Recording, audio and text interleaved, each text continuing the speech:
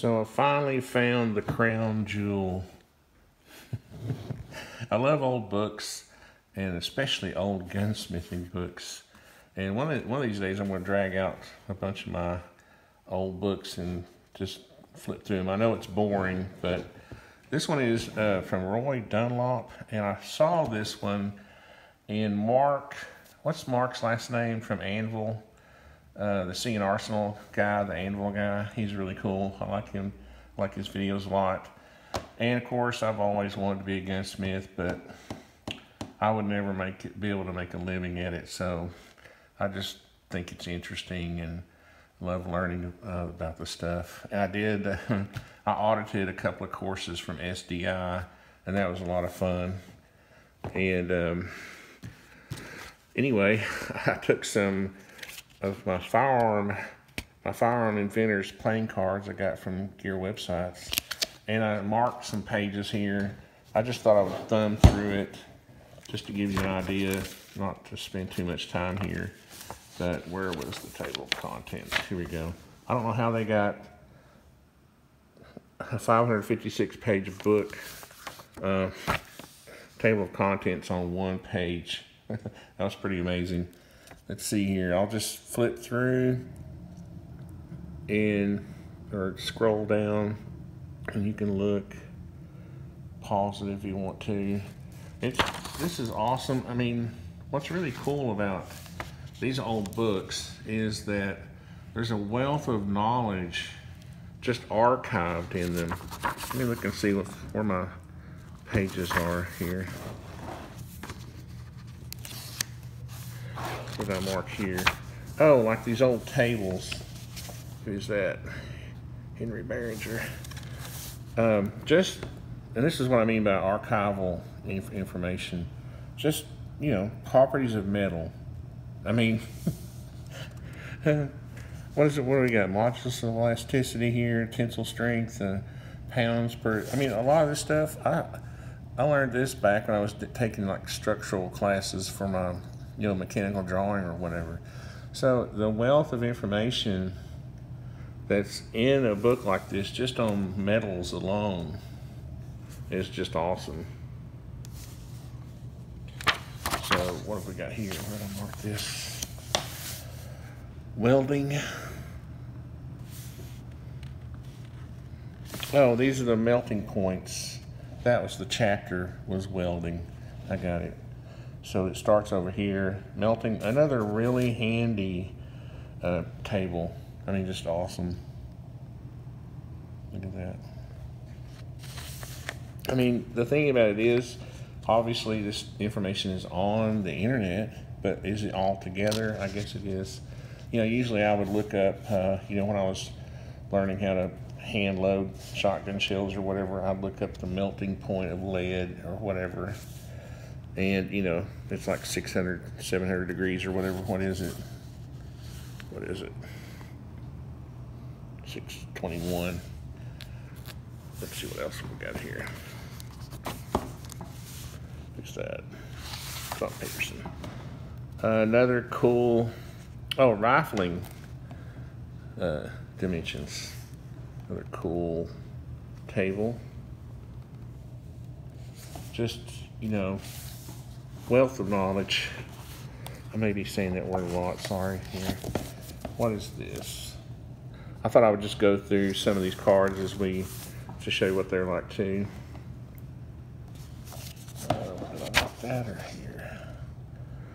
Oh, here we go. Here's one that's really handy, I, I find. I always get, honestly, I have done, I have always thought of weights of, you know, bullets in grains. And it's funny because you'll notice, like, even Tal Fledermaus will re reference a bullet weight in grams, which is odd to me. But here you can see you know, the difference in how to convert ounces to grams or grains to grams, whatever. And uh, just really cool. Just simple tables, you know, in one, in the same book, you know. I know y'all are like, what's so exciting about this? I, this is the kind of stuff that I love old about old books. And here, You're like, well, what's this uh, about? Well, it's chamber dimensions. So they've got the round shown up here, what's 30 30 there, and then you got your chambering dimensions here. Very cool. Who's that? What else have I got marked here? Well, the center section is a lot of about. I'm doing this with one hand. Sorry. About stocks, wood stocks, which you know, me being a wood burn, uh, wood burner, a wood uh, maker, uh, woodworker. Can I say it properly after 40 years of doing it? But it's not as interesting to me, I guess.